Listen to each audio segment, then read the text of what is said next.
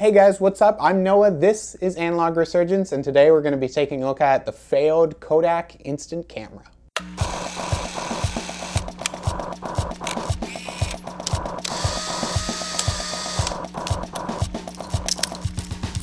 Now, I've looked at Polaroids in the past and about how when they started out, they were making peel apart pack film. And from 1963 to 1969, the components of that pack film were being manufactured for Polaroid by Kodak. Now, of course, being the photographic innovator that they are, Kodak decided that maybe there was some untapped potential in this instant camera market, especially because the instant camera market was just Polaroid. So Kodak began research and development on their own instant peel apart pack film. Very, very similar to Polaroid's pack film. But this immediately changed in 1972 when Polaroid introduced an entirely different type of instant film with the release of the SX70 and their classic white framed integral instant film. So this new integral film kind of replaced pack film. Pack film, of course, was still being made and everything, but integral film was kind of the future now of what instant film was going to be. So this sent Kodak back to the drawing board, and they decided that instead of releasing a ripoff of pack film, they instead would release a ripoff of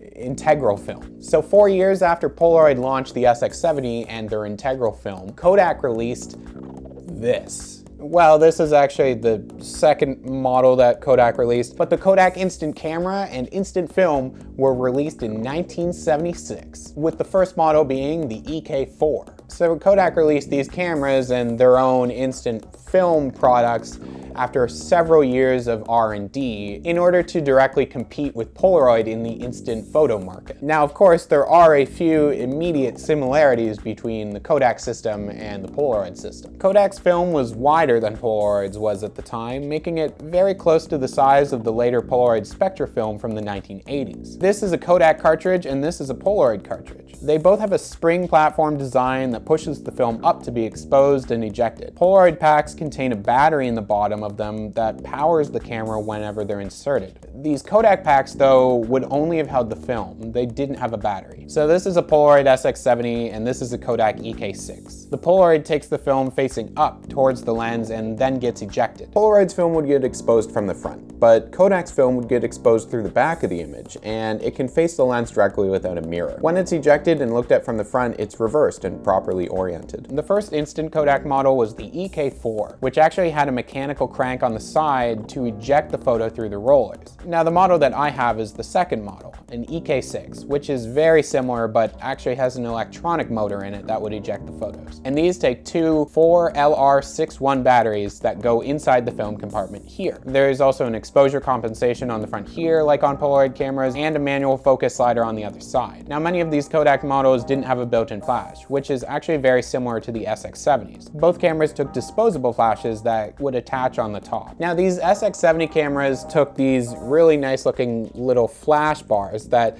when put on top actually didn't look too bad and kind of complemented the rest of the design. The Kodak instant cameras though had a few different options of what you could stick in the flash port on the top here, including what's called a flip flash, which you shoot four at a time and then flip around and shoot the other four. And when you put it on top of one of these awkward looking cameras, it looks like this. Yep, there were a variety of these cameras that Kodak released from 1976 all the way up to 1985. Ones like this Kodak EK160EF actually had a built-in flash, so that you no longer had to uh, use this. There were also some folding models like the EK8 and the Kodamatic 930, and of course the EK2, or the handle as it was usually called. This camera was big and bulky, but it had a built-in handle. There were some variations on these models as well, including what is now maybe one of my favorite looking cameras, the Coca-Cola promotional Kodak instant camera, which was called Kodak, Kodak Happy Times Coca, the Kodak Happy Times Coca-Cola camera. Kodak Happy Times Coca-Cola cameras. So the first film that Kodak released for their instant cameras had an ISO of 150, which again is very close to the kind of film that you would get for a Polaroid SX70 at the time. But Kodak later did introduce an instant film with an ISO of 300. And of course, Polaroid later introduced an instant film with an ISO of 600. Man, the instant photo industry in the 1980s was cutthroat. Now the problem with all of this was that the moment Kodak introduced their instant camera products in 1976, Polaroid hit them with a sizable patent infringement lawsuit. And I really can't blame Polaroid for that because, well, Kodak's film was very, very, very similar to what Polaroid was making. Now this patent infringement lawsuit dragged on for about a decade, during which time Kodak was able to market and produce all those different cameras that I just talked about. But in 1986, Polaroid won that patent infringement lawsuit, so Kodak had to shut it all down and stop making the cameras and all their instant film. People had the option of mailing their cameras back to Kodak at the time if they wanted some level of compensation because, well, all these cameras that they had bought within the past 10 years were now completely obsolete forever. And in the end, Kodak had to pay up to Polaroid in the tune of about a $9.5 million settlement over the patent infringement lawsuit. Uh, oh, and also, if you were wondering, can you shoot that? The answer is no. All the film that was being made abruptly stopped being made, and everything that was out there has now long since expired, most of which pre-1990. So really, there's not much use for these Kodak instant cameras anymore. You might be able to rig up something with Spectra film or even Instax film in them, but you can never shoot them the way that Kodak had intended for you to. Now there is a bit of an interesting side story that happened along with all this Kodak versus Polaroid stuff. See, around this same time, Fujifilm in Japan decided that they kind of wanted in on this instant camera game as well. So they started making their own instant film that would be compatible with Kodak's cameras. They even went on to create their own Fotorama cameras, Fotorama cameras, Fotorama cameras, Fotorama cameras, that they released in the 1980s, mostly in Japan. And when Polaroid sued Kodak out of the instant camera game in 1986, Fujifilm kind of cut a bit of a deal with Polaroid so that they could keep making their cameras and film and keep doing their thing over in Japan. As a result, this allowed Fuji to keep making all their instant film products over the years and